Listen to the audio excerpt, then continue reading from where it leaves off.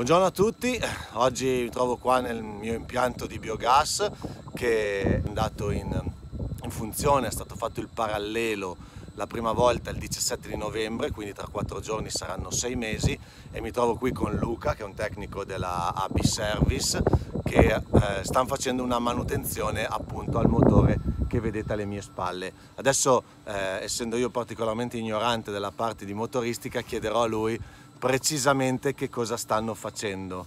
Luca, cosa state facendo oggi? Allora, stiamo facendo la manutenzione completa, la facciamo ogni circa 2000 ore, regoliamo le, le valvole del motore, cambiamo i vari filtri, filtri dell'aria, filtri dell'olio, regoliamo le candele e poi facciamo un controllo generale al motore che, che, tutto vada bene. Quindi cosiddetto cambio delle candele, quello che noi volgarmente chiamiamo il cambio delle esatto, candele. Esatto, cambio candele, regolazione valvole quindi c'è qua una squadra di AB, di Orzi Nuovi, di tre persone, tre tecnici con due, con due pulmini, sembra, la squadra sembrano CSI, però ehm, cioè, le candele vengono sostituite proprio in questo caso. Allora le, le regoliamo, le puliamo, praticamente durano circa un anno, 8000 ore le candele. Ah ok. Le, le regoliamo, controlliamo che vadano bene, se sono rovinate le sostituiamo, se no le prepariamo per la prossima manutenzione. Abbiamo due giri di candele per quante ore ha su precisamente oggi il motore? Il motore è circa 4.000 ore, o qualcosina di più. Per cui, uh, è la seconda manutenzione. È già infatti la seconda volta che venite, vi prende più o meno quanto tempo questa manutenzione? Ah, circa tutta mattina, accenderemo verso il mezzogiorno più o meno. Se tutto va bene entro mezzogiorno accendiamo.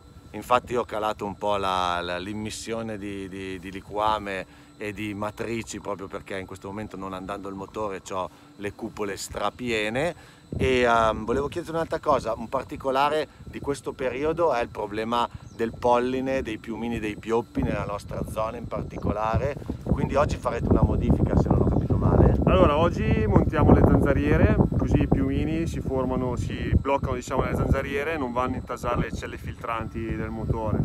Comunque in questo periodo noi abbiamo sempre anche i dissipatori, le celle filtranti, diciamo tutta la parte dove aspira aria, tiriamo via lo strato di piumini che si forma.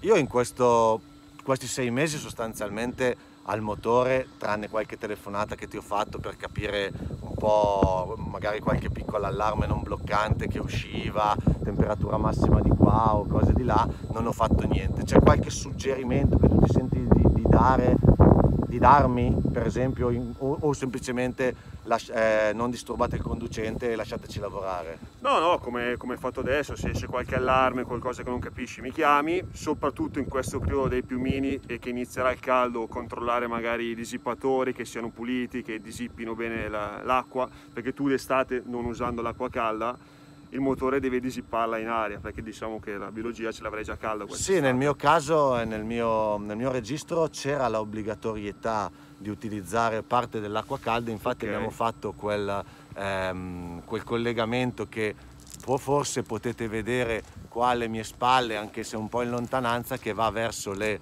ehm, le, le stalle per poter utilizzare l'acqua calda. Chiaro è che nel periodo invernale l'acqua calda viene utilizzata completamente anche perché sia le stalle sia eh, i fermentatori hanno più bisogno di, di, di calore. Certo. Mano a mano che andremo verso la stagione estiva si fa un pochino più fatica ad utilizzarla, i digestori ne utilizzano meno e quindi i dissipatori che sono, se non dico una cazzata, dei, dei radiatori, radiatori, sostanzialmente esatto. eh, raffreddano in quel caso lì. In quel caso lì. Quindi sì. tenere, tenere pulite le griglie. Insomma. Le griglie di solito d'estate il problema maggiormente è quello, tenerlo pulito.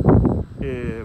Oggi fate anche il cambio olio? No, l'olio abbiamo fatto l'analisi, vanno bene e quindi duri altre 2000 ore. Perché noi abbiamo all'interno del, eh, del, del, service con AB sia la fornitura, nel mio caso eh, si può comprare a parte, ma io ho anche dentro la fornitura dell'olio, però lo cambiano nel momento in cui ce n'è bisogno. Adesso quante, quante ore ha già fatto quell'olio lì? 2000 ore. Che non sono poche tra l'altro. Allora ogni 500 ore noi facciamo il campione dell'olio, lo facciamo analizzare se va bene andiamo avanti, se non va bene lo cambiamo. L'olio dipende molto dalla qualità del gas, in questo caso tu hai anche l'H2S molto basso e quindi riesci a fare di più. Probabilmente in questo caso l'olio lo cambieremo fra 2000 ore alla prossima manutenzione. Ma se fa 4000 ore è un record, o quasi, o ci andiamo vicino. Beh, ci proviamo. Meglio, meglio così, meno si ferma il motore, meno ore eh, sta fermo in un anno e, e, meglio è perché questi motori sono fatti per andare H24, ci sono 8760 ore in un anno e tu più ti avvicini a quel risultato che vabbè 8760 è impossibile appunto perché ci sono delle manutenzioni programmate ogni 2000, ogni 2000 ore. ore, deve stare fermo 3-4 ore,